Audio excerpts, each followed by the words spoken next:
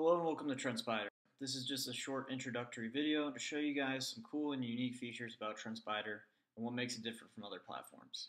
First thing you'll notice when this Trends button is turned on is that TrendSpider will automatically populate the chart with some automated trend lines. You can adjust these trend lines by adjusting its settings in the trend analysis preferences. Right now we're on original. You can go ahead and choose either enhanced or experimental this will change the chart a little bit. The original settings show you some longer term trends. The enhanced settings go ahead and show you those shorter term trends as well as those longer term trends. And an experimental or is experimental, it's exactly what it's saying here. Uh, these are experimental trend lines that you are welcome to try out.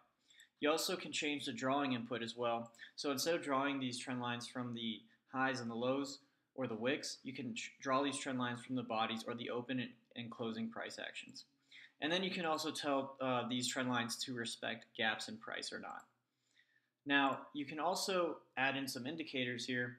You can adjust which indicators you'd like to, uh, to add to your chart by going ahead and clicking Manage Indicators tab. I already have some preset here. You can just scroll through and add whichever ones you'd like. I have RSI, Keltner channels, a simple moving average of 200, and MACD on here. Go ahead and hit apply and turn those on. And this just gives you a basic chart setup, right, of um, Goldman Sachs in this case. Now what's unique to TrendSpider is you can go ahead and add in multi-time frame analysis, and this will go ahead and populate the chart with the longer term indicators. In this case, we're looking at the daily chart.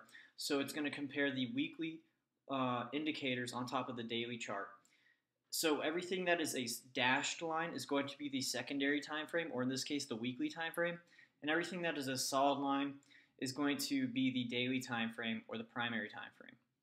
And that goes for these trend lines here, that goes for the Keltner channels here, that goes for the moving averages and for the lower indicators as well. Now what's cool about TrendSpider is you can go ahead and set alerts up on these upper indicators and trend lines as well. So if you think that uh, you want to watch for a breakthrough on this middle weekly Keltner channel for short-term price, you can go ahead and uh, create that alert. We can watch for either a breakthrough touch or bounce off this middle weekly Keltner channel. We can set a price sensitivity to that. So if you felt like you're, if you don't want to miss the market, you can say alert me within a dollar of this trend line, right? And then we can set up to a 10 minute alert on the weekly, um, a five minute alert on a daily indicator below. Let's say we wanted to do a 15 minute alert on this. We could set ourselves a little note here if we'd like. And then we can watch this for up to 30 days and trigger for up to five times. And you can go ahead and do this on daily trend lines, on five minute trend lines, 30 minute trend lines, hourly trend lines. You can compare any type time frames you want.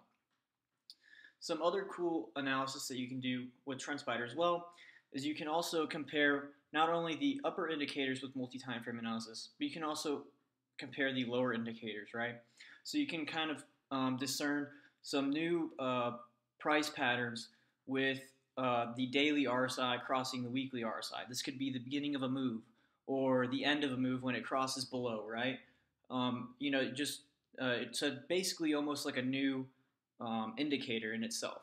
So that's some other ways that you can kind of uh, use TrendSpider to your advantage.